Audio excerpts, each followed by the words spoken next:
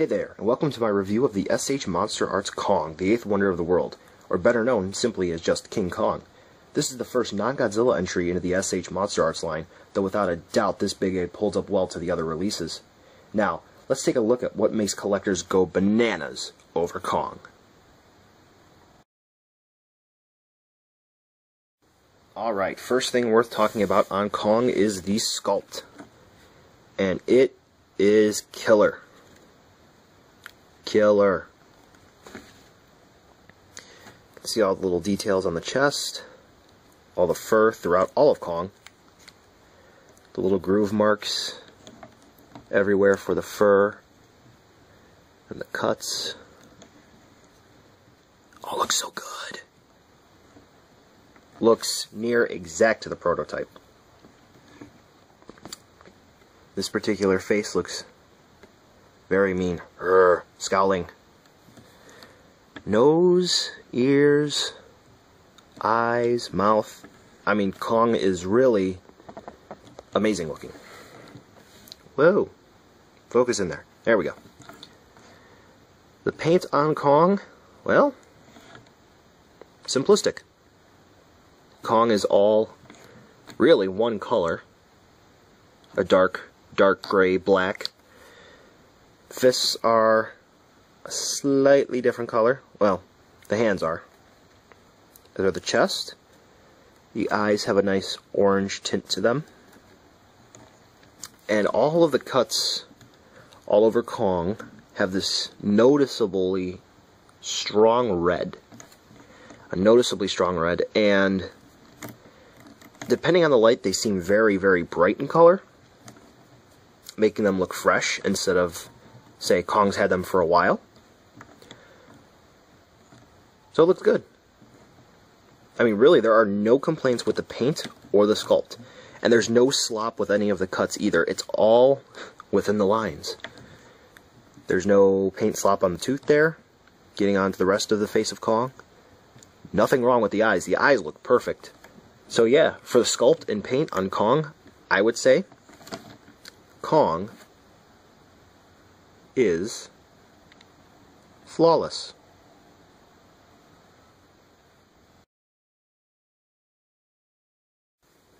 So just how articulated is Kong? Start with the head, work down to the feet. First off, Kong's neck is on a ball joint.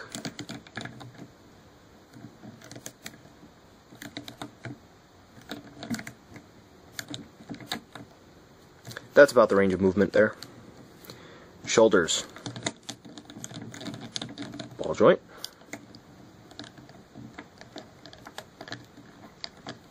Right shoulder on mine's a bit stiff. That's alright. Biceps. Swivel. But here's an interesting thing. It's not a swivel. It's a ball joint. That's all Kong has. Elbow joints. Here and here, those are actually ball joints. But they work on a hinge system, kind of. Hands. Ball jointed. Torso. System goes back really, really well. And I'll show you Kong walking on all fours later. Going forward, not so much. And this is why. Because, as you can see here, he's kind of free to go back for the cut, but not so much forward. As you can see how it lines up there. So, yeah. There is a bottom cut here. Ball jointed again thighs at the hips, ball joint, knees, same system as the elbows, ball joint, but it works as a hinge, feet, ball joint, and the toes work on a double hinge, as you can see, to give him the monkey foot look. This one of mine doesn't work too well. Oh, there we go. Got the toes to actually bend. But yeah, articulation overall on Kong, it's good. Just would have liked to have made Kong bend forward a little bit more or turn his head more to the side, but you can sort of turn the torso and turn the head. Urgh. Yeah, articulation on Kong, very nice. Very nicely done.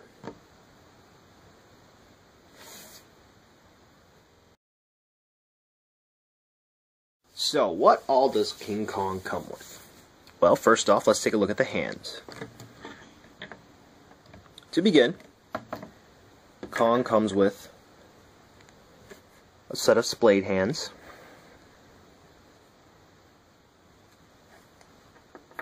a set of hands for walking on his knuckles,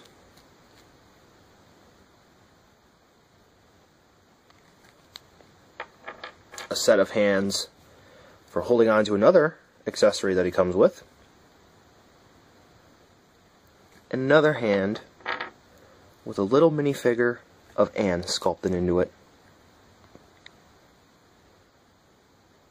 Aww. For faces, Kong comes with this whooping, hooting face. Very comical. and also with this mad screaming face. Looks like he woke up on the wrong side of the bed.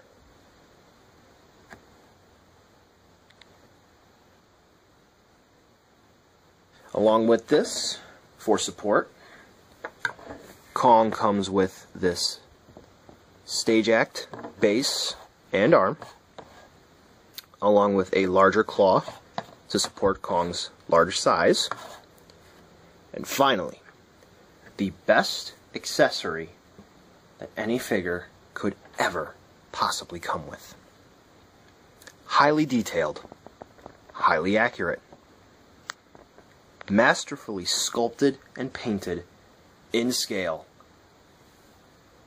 log. Or in Kong's case, a twig. Not sure why this was included in particular, but it's there.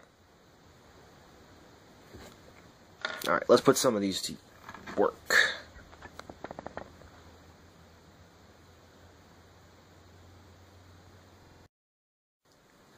Alright, I'm going to put Kong into a knuckle walking pose now, since there are some people that don't know how to do it. Easy enough. Hands, ball jointed.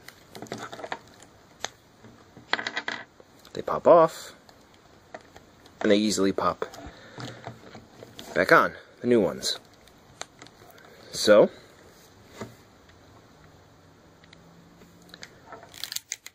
twist the legs,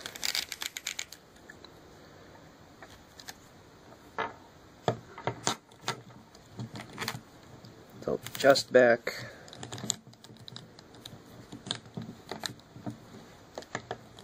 Put the arms down. Like this.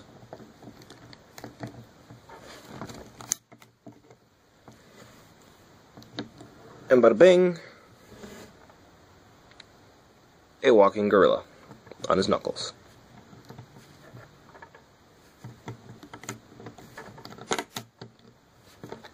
Very basic. Not too hard to do. Now, for the faces.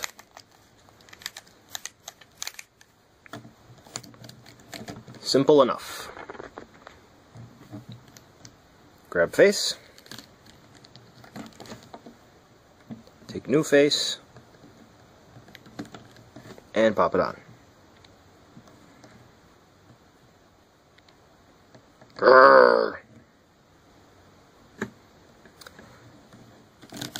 So for the accessories for Kong overall, they are not bad in the least.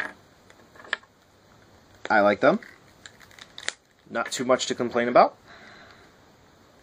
Not too much to complain about at all. Except possibly maybe more options for hands. But there are a lot of different display options for Kong. So I'd have to say that accessories are fantastic.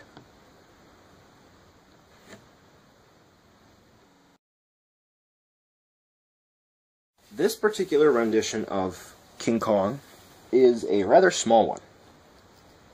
And unfortunately, this is the only figure from the King Kong world that exists in the SH Monster Arts line. So, realistically speaking, the rest of the line doesn't exactly scale with Kong. Though I'd say it's a nice fit. Could be a little bit smaller, but if you're looking for a larger Godzilla to go along with King Kong, Burning Godzilla fits in well there. Since Burning Godzilla, Godzilla 1995, is the larger Godzilla in the line, so guess that works for display buddies. But yes, unfortunately, King Kong is out of scale based on actual measurements. And it seems like maybe Kong shouldn't be that large. But I'm not complaining about it. I actually like the scaling myself. I just know that a few people are upset about it. And that is how he factually scales with the rest of the line.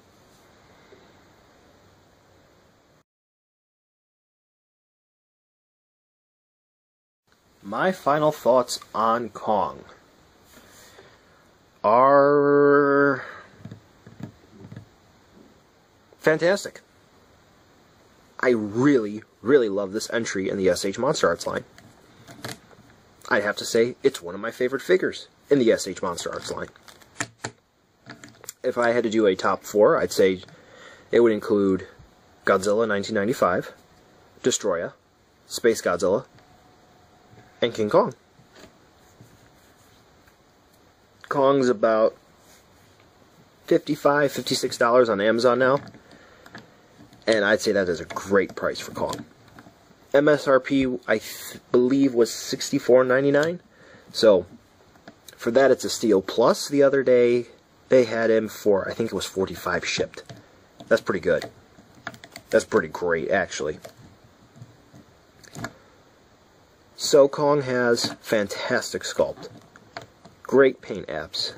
Articulation, at some points, leaves a little bit to be desired, such as the range of motion in the neck and looking down with the ab crunch. Because I mean, going back, perfect. Just going leaning forward. But despite those little flaws in Kong, I would definitely say that the king of the jungle can go toe to toe with the king of the monsters.